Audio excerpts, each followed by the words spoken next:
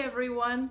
I'm so happy and honored to be on this page, which is being started by Mike Dooley. Mike, thank you so much for inviting me on your Raise the Vibe page.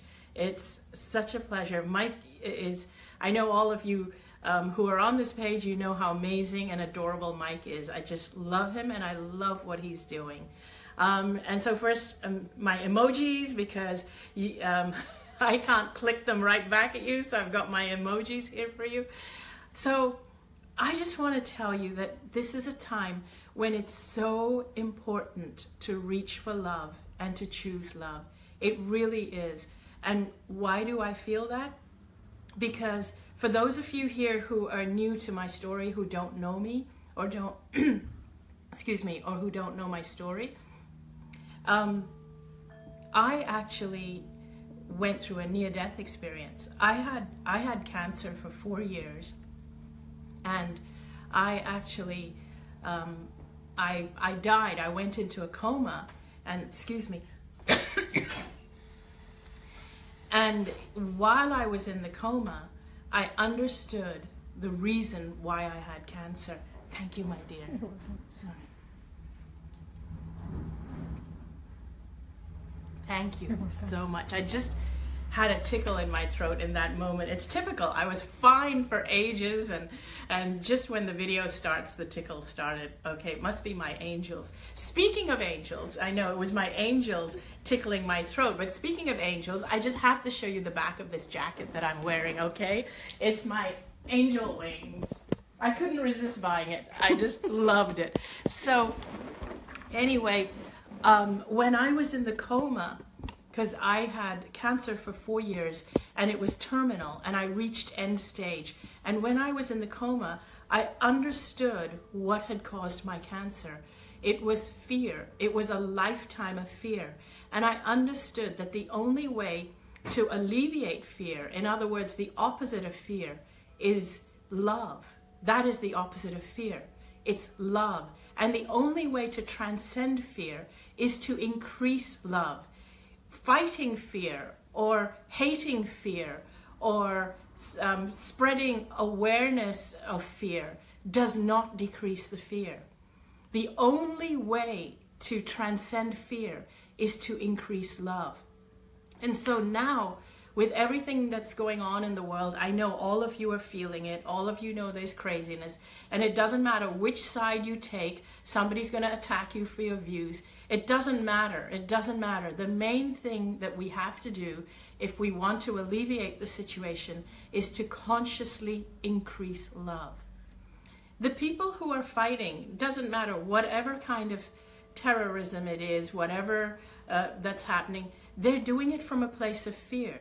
They're doing it because they want to hold on to something, an ideology, which they believe was what it was historically. They're afraid of losing something which they believe that they held years ago and they see it they see something eroding and they feel fear. And what happens? So how do people um, get recruited into these groups? How does it spread? I'm going to offer you my opinion of how it spreads.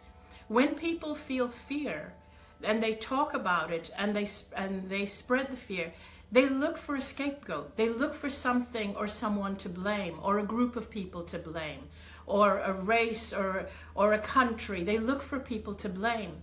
And when most of us are sitting on the fence about something when we don't have strong views of love or hate or when we don't have strong views we're easily swayed. So if you're somebody who's bored who has nothing better to do and someone gives you strong views and they and if somebody then gives you and shares their strong views and becomes a role model of strong views if those strong views are fearful ones that's what you'll be drawn towards.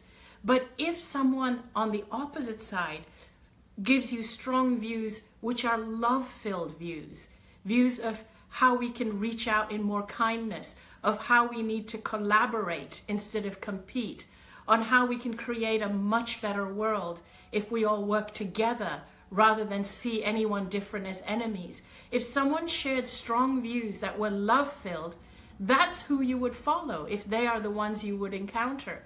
The problem is that right now, in this world today, the strongest role models, the ones with the loudest voices, are the ones with the fear filled views.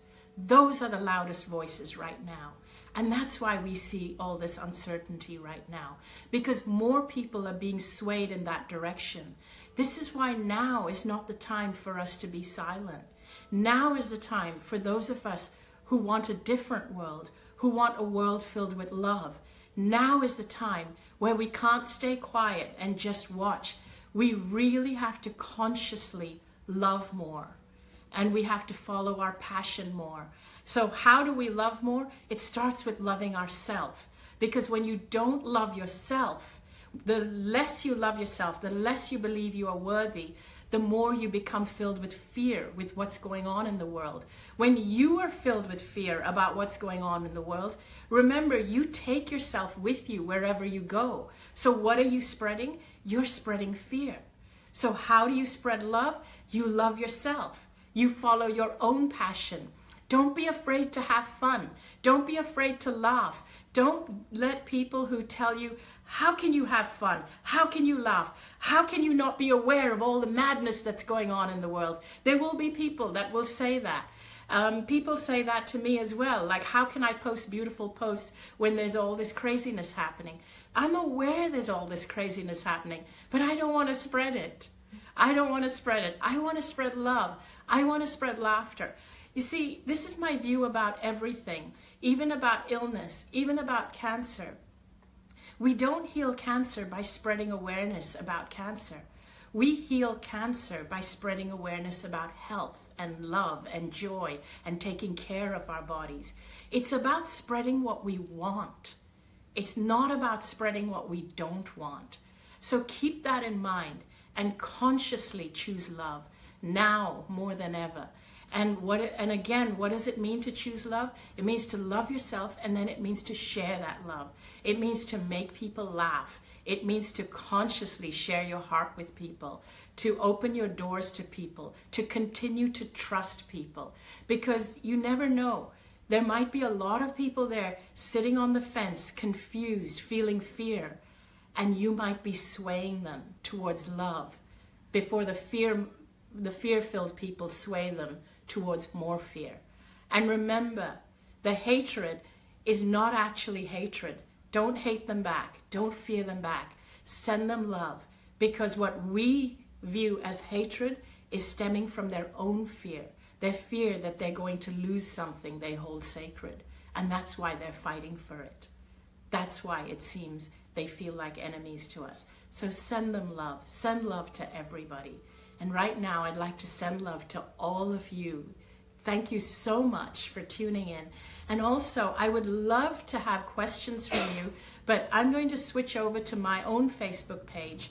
Um, so that's Anita Moorjani. We're putting the link just under this post, this video. Please join me on my own Facebook page. We're going to, I, I believe the link is there in the, uh, in the video's description itself. In the video description, the link is there. Please come to my page and please feel free to ask me absolutely any questions at all, anything about what I've said or anything else you can think of. Um, and in the meantime, sending you all love and especially, of course, dear Mike Dooley, thank you for starting this group. Fabulous idea. Love you all and have a great Sunday or Monday, depending where in the world you are.